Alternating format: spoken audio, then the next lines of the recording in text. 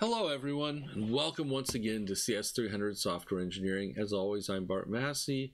I hope you're all staying safe and well in this difficult time. I want to talk to you today about agile process and practices.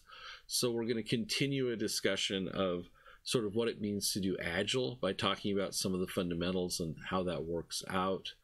As before, I'll try to separate clearly my opinions from things we actually know and things that are actually going on out there and uh, hopefully that'll be successful.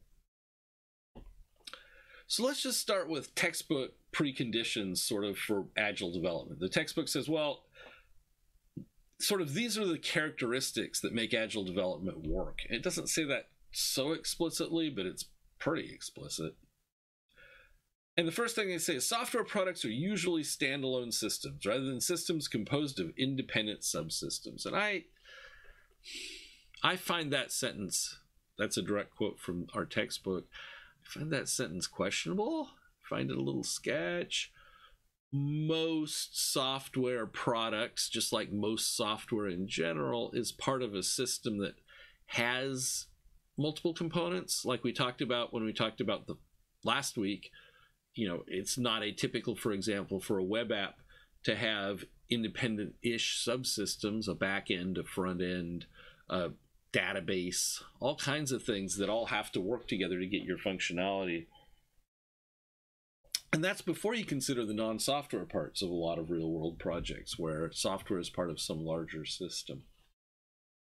It says, well, Agile works when you, you're developing with co located teams who can communicate informally. And of course, that's not really so much a reality in 2020. Sometimes it is. Certainly right now it's not, right? Nobody's co-located because we're all trapped at home by terrible virus. But even when the virus is gone, the fact of the matter is that you work with people that are not in your time zone and you try to minimize communication, synchronous communication with those people, communication, direct communication with them in favor of things like email or uh, whatever that are asynchronous that are stored and they can work with later. Uh, and even if they are in your time zone, you know, there's a lot of work from home. There's a lot of stuff like that going on. And so you really can't count always on co-located teams. Uh, and the conclusion here, just there's no need for formal documents, meetings, and cross-team communication that's a weird statement. There's certainly a lot of meetings in Agile. They we try to keep them minimal and short, but they certainly exist. There are not formal documents, but there's a lot of documenting going on still. And certainly I don't know what they mean by cross team communication, but certainly you're talking to each other as much as you can. You're just not doing it face to face all the time, although you do that when that's possible.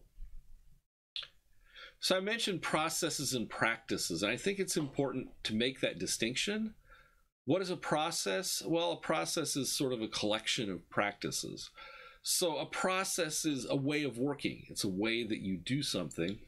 And the way that you do something is by executing a bunch of little pieces, right? If you're a chef, you probably have a cooking process that you follow that involves you know, it has some phases, it has some practices, it has shopping, and you'll have various practices around where you shop and how you shop. It involves prep cooking, and you know, you have various practices about how you do prep cooking and who does it, and so forth. And when you've got all those practices assembled, you tend to execute the same general set of practices every time you cook something. Well, when we're cooking software, you know we do the same thing. We we find a set of practices that we collect together into a process and we tend to execute that same general process whenever we build software adapting it only where we need to to fit our situation. Because those practices were chosen to work well together and to get the result we want. And so it's really important when thinking about software development that you think about that about what how is it that i'm doing what i'm doing and what practices make it up Let's talk about a few principles of agile programming. Um, these are taken from the extreme programming literature, which again is very closely related to the Agile Manifesto we talked about last time. And I think these are all fantastic principles. I think they're absolutely unquestionably good ideas. Involve the customer. You really want the customer as involved as possible in your software development because they can guide you as to what they need. They can help you. They can constrain you when you need to be when they need you to be constrained, and so forth. Embrace change. Understand that you know strawman waterfall doesn't work. That the stuff you decide you're going to do at the beginning isn't always going to be what you do at the end. That sometimes. And by sometimes I mean always, the customer will change their mind about what they want in the middle of the project. That's very, very common, and you need to be prepared for that. You know, don't expect that you're you're you can be rigid about this. Develop and deliver incrementally. We talked a lot about that last time. I think it's clear after trying it a lot of different ways over a long period of time in the software engineering business, I think it's clear that building, taking a working piece and making a small incremental change, improvement to produce another working piece is the way to build software. Maintain simplicity. Try as hard as you can not to make your systems too complicated. The 1970s, 1980s, 1990s, you can go back and find some just dinosaur great examples of systems that were just way overbuilt for what they were trying to do. There was just way more code than anybody could ever deal with. It required crazily giant machines to run it, and it required crazily giant armies of workers to keep it running. Uh, we don't want that. Make things as simple as possible, but not simpler. And finally, and I've said this over and over again, and I agree with this 100%. I think this is really important. Software is people.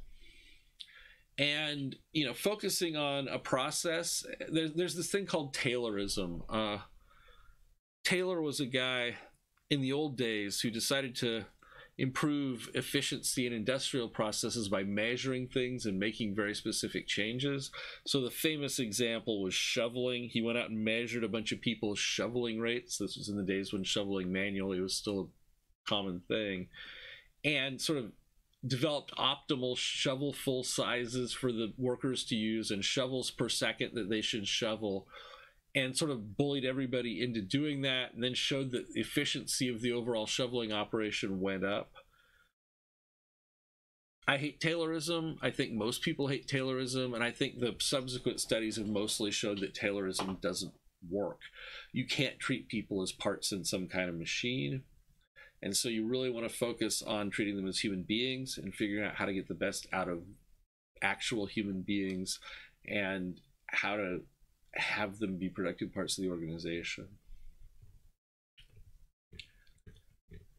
So, the extreme programming movement, which is a little fellow kids, but there we are, was an attempt to back away from heavily waterfallish project projects in the 1980s and uh, was really the forerunner of today's agile methods really the inspiration for most of today's agile methods. Here's some practices, the book lists that that were standard our standard XP practices. Frequent small releases. We've talked about incrementalism, absolutely. Continuous integration, meaning have the product in a state where it can always be built, have the product in a state where it can always be run. Test first development. Write your tests bef- early before you even write code. That's a fantastic plan and a really good one try to design as simply as possible. We've talked about that. Refactoring is the idea of being willing to take your code and do gross violence to it, to throw things away mercilessly, to move things around mercilessly, to rename and reshape your code so that it fits your needs better. Having a customer on site so that you can talk to them. This there again, this customer interaction idea. Sustainable pace, not doing the death march thing. There's a very famous old software engineering book by Ed Yourdon who's that's titled Death March. Uh, the phrase, you know, popularized the phrase in the software engineering community. This idea that when uh, a project is behind or having difficulties, the idea is to increase effort, and that turns out to just typically just produce a product that's farther behind and has more difficulties because if you try to work faster than humans can, things go horribly wrong. Pair programming is a really interesting idea. We'll talk briefly about it, but it's kind of fallen out of favor after a long heyday of being in favor. The idea is that two people sit and program together on a single piece of code, and that sounds very inefficient. But there again, efficiency is hard in software engineering. You don't get to sort of intuitively guess what's going to be efficient and what's not in the long run because human beings are surprising creatures and you'd think that if you took two programmers and put them on one piece of code then that piece then in the same amount of time you'd get half the work out of them. And it doesn't turn out that's the way it works at all. It turns out they work faster and more accurately on that piece of code and the, and more sustainably. And so there you are. Collective ownership this idea that's due to Glenford Meyer and some other psychologist people that sort of you want everybody to feel that the software you're building is a collective effort, that you all succeed or fail together, that it's everybody working as a team. And incremental planning, planning as you go, which is one of these ideas we talked about a little last time. I mean, let's look at these. Some of them are sort of platitudes they're sort of pie in the sky there are apple pie kinds of platitudes right of course you want a simple design there's no literally no software development methodology i've ever seen where we favor complex designs as part of the software development philosophy you don't do that you know nobody wants nobody wants complicated they all want simple even the people doing crazy formal method stuff Abrial's b method or whatever we're like, well, yeah, we make it as simple as we can. It's just hard to make it simple when you're trying to do this stuff. Um, you know, sim- similar with sustainable pace. Nobody's like, oh yeah, we all want to work everybody till they drop. Uh, of course you don't. But you know, the question is, how do you avoid that? How do you get simple designs? How do you actually achieve sustainable pace? Some are sort of idealistic. You know, collective ownership is fantastic, and you should always try for it in your project, but you may not always receive it.